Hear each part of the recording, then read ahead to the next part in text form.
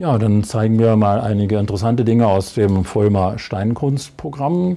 Da gibt es zum Beispiel äh, Materialien, aus denen man Wände bauen kann.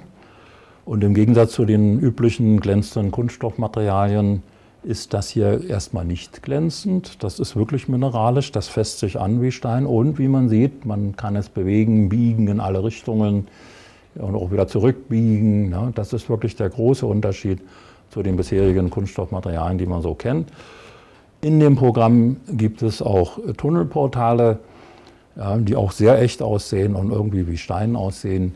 Und wenn man äh, im Tunnel aus solchen Materialien hier gewölbte Decken und Wände bauen möchte, dann müssen die ja auf der Rückseite irgendwie befestigt werden. Und ich habe dazu mir aus Holz etwas gesägt, hinten schon aufgeklebt. Das lässt sich ganz einfach machen. Ich habe einfach hier ein Stückchen Sperrholzrest genommen, das hier draufgelegt und mit dem Bleistift hier einmal so ringsrum gemalt. Und dann, sehr wichtig, äh, das ist ja die reale Öffnung vom Tunnelportal. Ich habe das hier um ein äh, anderthalb Millimeter circa größer gemalt hier, ne? weil ja äh, die Materialstärke noch dazu kommt von diesem Material.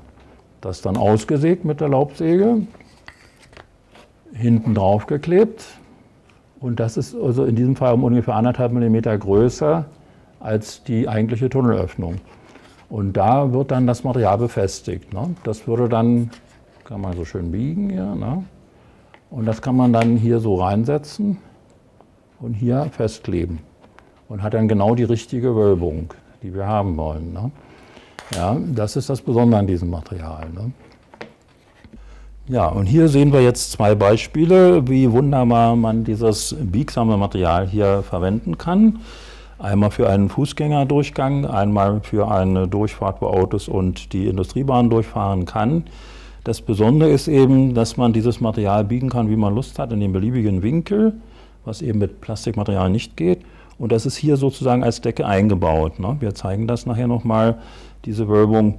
Und äh, das ist eben das, was äh, unterschiedlich ist zu den üblichen bisherigen Plastikmaterialien.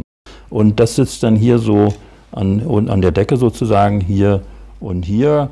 Und äh, das ist eben das, was mit diesen glänzenden Plastikmaterialien nicht so ohne weiteres machbar gewesen wäre. Ne? Aber mit diesem Material geht es wunderbar.